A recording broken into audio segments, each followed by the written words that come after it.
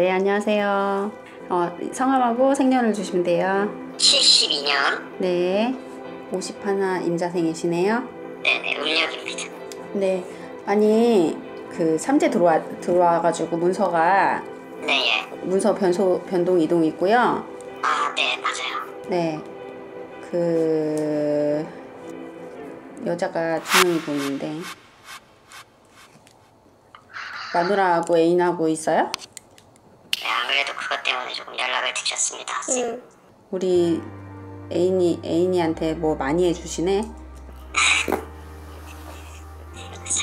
어, 우리 마누라님이 고생 많이 하셨는데.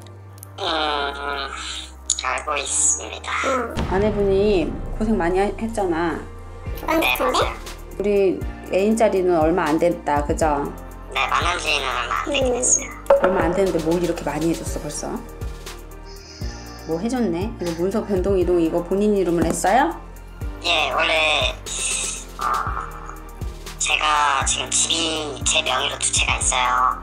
도체 현재 갖고 있는 거. 응. 네, 현재 갖고 있는 게 두 개가 있는데 한 개가 지금 아까 선생님께서 말씀하셨던 대로 얼마 전에 문서를 잡은 거거든요. 네네.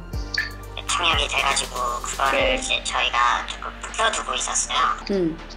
어떤 집값이 오를 수도 있다라는 그런 좀 응, 응. 찌라시들이 좀 있었어가지고 참고 있는데 있다가 이제 이게 매물이 집이 5억짜리거든요. 제가 얼마 전에 4억 6천에 팔았어요. 어. 4억 6천에 팔았는데 이게 어, 와이프 몰래 팔았거든요. 몰래 팔고 애인 줬나?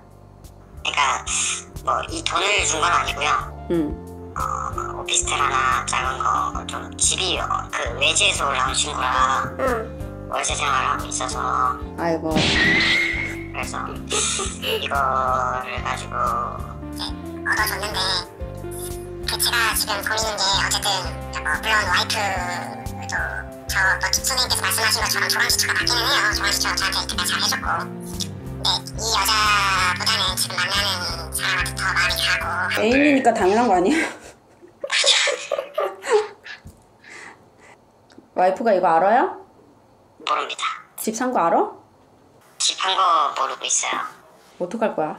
근데 안 그래도 지금 집좀 이제 슬슬 팔아야 되는 거 아니냐고 어저께 물어보더라고요 응. 어휴, 큰일 났네. 발등에 불 떨어졌네. 지금 지, 이 애인, 이 애인은 지나가는 인연이야. 와이프는 평생 갈 인연이고. 네 근데 지나가는 인연 때문에 평생 갈 인연 놓칠 거야? 어떤 식으로 지나간다라고 말씀을 하시는 건지 지나간다라는 게 그냥 지나간다는 건 이 사람하고는 끝이 보인다는 소리지. 그러니까 뭐 결혼이나 이런 아, 마누라인데 뭔 결혼을 해. 정신 차려. 지금 선생님께서 말씀하신 이 애인이 더 좋은데 근데 이 와이프랑 이혼을 하고 이 여자랑 살 수 있을지 혹시 음, 지나가는 인연이라고 얘기했잖아, 삼촌아. 근데 이 여자친구랑 계속 이제 결혼에 대한 얘기를 하거든요 삼촌, 잘 생, 잘 이제 생각해보자. 우리 삼촌 애기 있지? 네 하나 있습니다 딸이지? 네 근데 딸이 어? 이 지금 애인이 되- 내가 보기에는 나- 나이가 어려 보여. 네네 본인하고 한 10살 차이는 나 보여. 네 맞습니다 어. 근데 내 딸이 어? 결혼하고 잘 살고 있다가 10살 차이 나는 남자랑 결혼한다고 이 사람 버리겠대. 그럼 어떻게 느껴질까? 내 딸은 이미 뭐 자기 뭐 하고 하고 잘 살고 있으니까 생각해봐. 본인이 이런 행동을 하면 딸이 그렇게 행동할 수 있어. 왜? 쟤는 쟤도 내려가고 공도 내려가거든. 자식도 있고 마누라도 있고 조강지천데 삼촌 마음을 조금 바꿔봐. 좋은 건 알겠어. 그냥 애인만 해. 결혼까지는 아니야. 내가 보기에는. 뭐 굿, 굿이나 뭐 이런 걸로 혹시 뭐 이런 뭐 이런 곳은요 있어도 안 해드려요 저희는 지금 배신하겠다는 소리잖아 그죠 마누라를 배신하겠다는 거잖아 삼촌 본인 생각만 하면 안 돼 장가를 안 갔거나 안, 아기가 있었어도 이혼을 해, 해- 현, 지금 현 이혼한 상태이거나 이런 거면은 얼마든지 예인하고 같이 살아도 돼. 근데 지금 마누라하고 애기하고 같이 다 잘 살고 있고 우리 내가 보니까 지금 우리 딸내미는 이제 결혼할 날 이제 나이도 이제 찼는데 하, 참 난감하다. 우리 삼촌들이 이런 걸로 전화 많이 하거든. 네네. 근데 는 애인일 때 좋은 거야. 어, 우리 와이프랑 결혼할 때도 어 싫은 사람이랑 결혼한 건 아니잖아. 근데 한 번만 다시 생각을 해봐. 다시 왜냐면 내가 삼촌이 막 되게 지금까지 이렇게 살아온 이력을 보면 되게 악하게 살았거나 이렇게 보이지 않아. 지금 어 그 늦바람이 들어가지고 그 늦- 늦바람 때문에 지금 혹해가지고 완전 푹 빠진 것처럼 보이거든. 봐봐.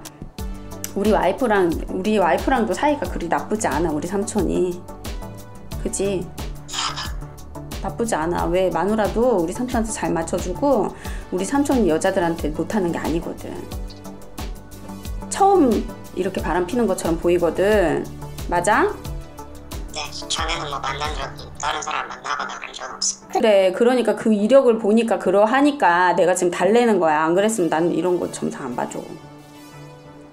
왜냐면 지나가는 인연은 지나가는 인연대로 놔둬야 돼. 우리 삼재 들었기 때문에 더 혹하고 더 빠지 더 빠지는 거야. 왜? 삼재는 아무리 복삼재가 들어와도 삼재는 삼재거든. 구설 12 관재가 들어. 근데 본인이 지금 살아온 인생이 그렇게 엉망진창으로 살아온 게 아니기 때문에 관재 들 일이 없어. 그러면은 집안에서 관재 들려면 어떻게 해야 돼? 이혼밖에 없는 거야. 근데 요거 그거를 잘 견디면 어 또 괜찮아질 거라고. 그리고 지금은 이 이혼밖에 관제가 없기 때문에 관제는 들어야 되고, 응? 음. 그니까 정신, 정신 차려야 되는데 어 한 번만 다시 세- 생각해봐. 섣불 이런 거는 섣불로 이렇게 너무 좋다. 지금 마음이 너무 좋은 건 알겠어. 네. 너무 좋은 건 알겠는데 그거는 사람 마음이라 해서 삼촌도 삼촌 마음대로 안 되잖아. 그지? 사람이 좋은데 이유가 없잖아. 그거는 나도 충분히 이해하겠어. 근데 삼, 삼촌이 지금까지 살아온 그 인생을 보- 돌아보니까 내가 둘러보니까 그렇게 엉망진창으로 산 것 같아 보이지 않으니까 달래는 거라고.